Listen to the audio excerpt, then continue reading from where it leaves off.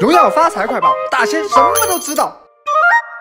周年庆活动啊，已经拉下帷幕，各位小伙伴都得到了什么奖品呀？有没有欧皇翻到了荣耀锦鲤喜提全英雄皮肤的返场皮肤买了，周年奖品拿了啊！现在让我们将目光回到游戏里，本期将给大家讲讲最新的 UI 改造。首先啊，局内界面调整啊，将整体清晰度进行了提升，注意力更聚焦于战场。我们在对局里啊，可以看到界面上的功能按钮和血量显示的信息面板所占用的面积较大，这样很容易遮挡住视野，影响战局判断。所以官方对此啊进。进行了调整，将收到按钮啊默认位置靠边调整，尺寸也进行了缩小，这样我们在滑动镜头的时候再也不用担心收到按钮的干扰。不过现阶段估计大部分人都会把收到按钮给关掉的。那信息按钮间隔增大，这样可以减少误触发出错误信号指令。去掉了英雄属性按钮，将其整合到了对阵属性弹窗里。其次就是右手模式完善，调整了商店左右手筛选模式，保证左右手啊体验一致，增大了。预购购买按钮，且双击商店装备图标也可以完成预购。另外，信号按钮位置啊也将固定到右边。当然啊，还有更多的细节优化：一、连线拓展功能，快速打开常用功能；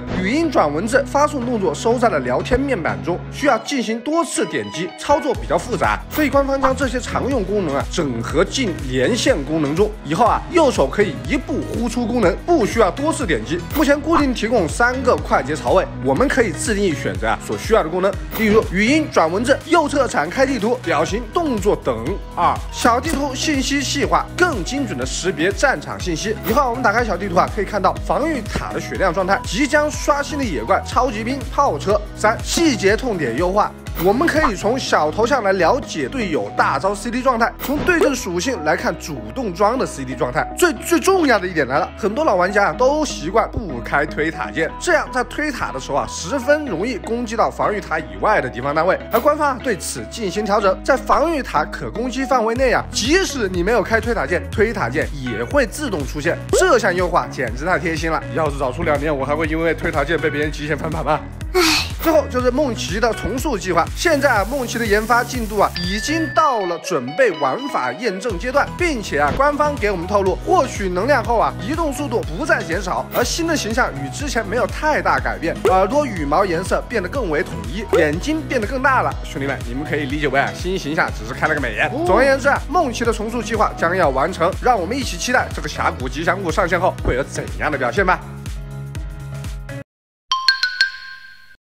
有 ID 名为如生的小伙伴留言，就我觉得大猩现在也挺帅的嘛。看到这条评论的时候，我还是挺开心的呀。可是下面喵口三三二三三三三的回复就挺过分的了。长胖怎么了？这说明厨艺好下饭呢。我再用事实告诉你，明明想走颜值主播，却要用厨艺征服大家。